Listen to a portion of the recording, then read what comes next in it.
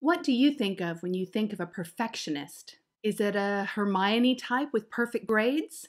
Or a discerning genius who will accept nothing less than perfection, whether it's in wine tasting or bond trading? Often we think of the rom com trope of the uptight heroine who has her life completely organized down to the last detail and who just needs a man child to loosen her up.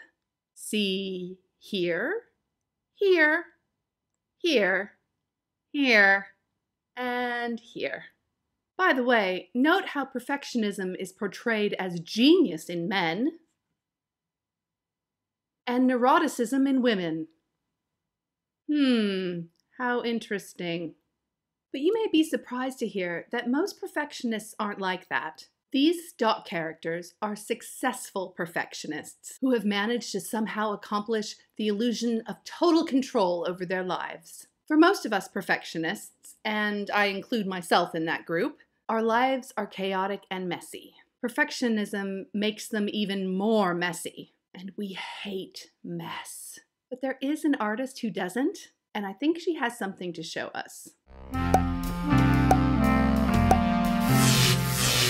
By the way, I'm Nancy Langham Hooper, PhD, art historian, and cultural enthusiast, ready to use the great art of the world to help you out. Do you think that's cool? Like this video, subscribe to my channel, oh. and ding the notification bell, and YouTube will keep you up to date on all my shenanigans. Not that perfectionists have shenanigans, or do they?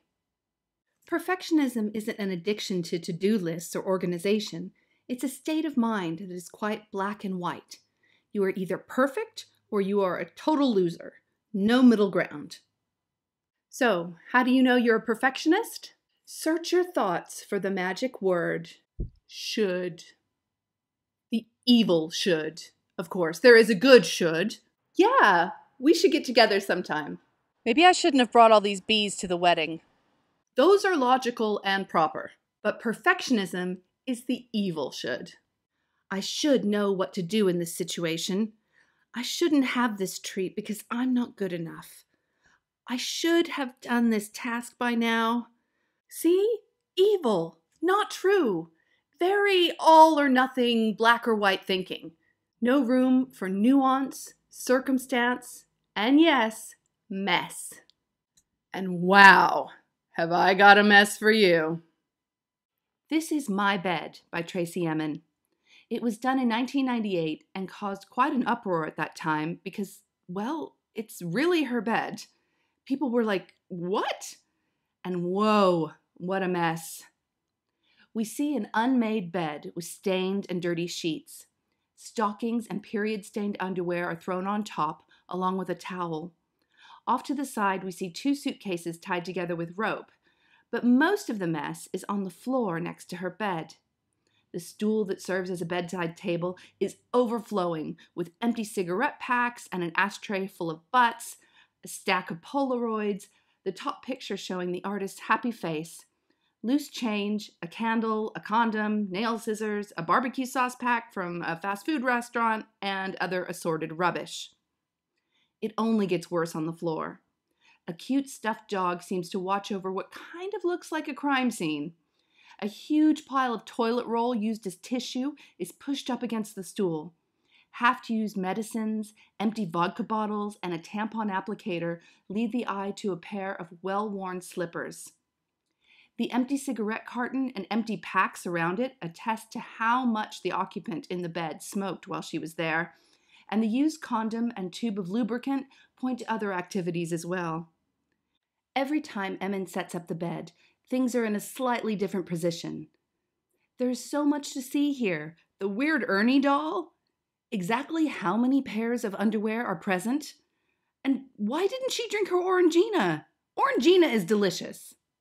The mess is quite revolting, especially as you look closer.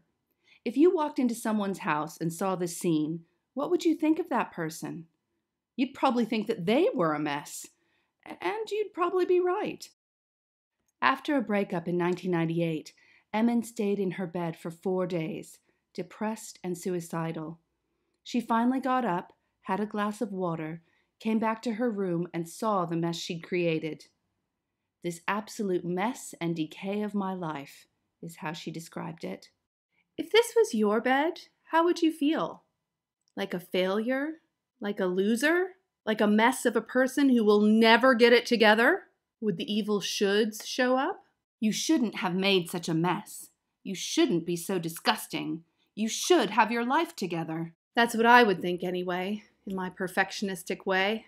And yet, Emin was able to do something extraordinary and compassionate. She was able to reframe this mess. She says, I spent four days in the bed, and when I got out of bed, I looked at it and thought it was disgusting. And then I realized that this bed had probably saved my life and kept me safe. And then at that moment, I just saw it in a white space, and I realized it was art. The mess saved her, it didn't condemn her. And she knew that by putting it in a white space, by contextualizing it as art, she could share her time of vulnerability and survival with the world. She took that moment of revulsion where perfectionism would condemn her and transformed it into compassion for herself and transformed that into art. Modern and conceptual art is often about transforming everyday objects into artworks.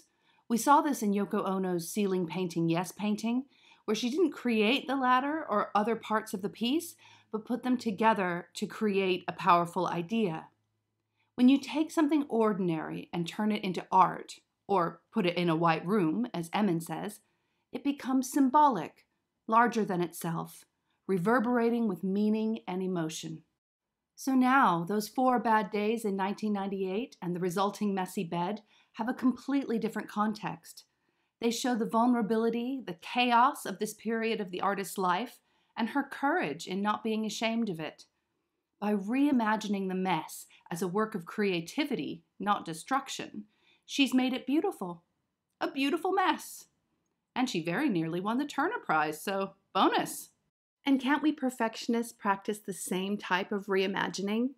Our evil shoulds create messes. We procrastinate because we don't want to fail. We punish ourselves. We set unattainable goals.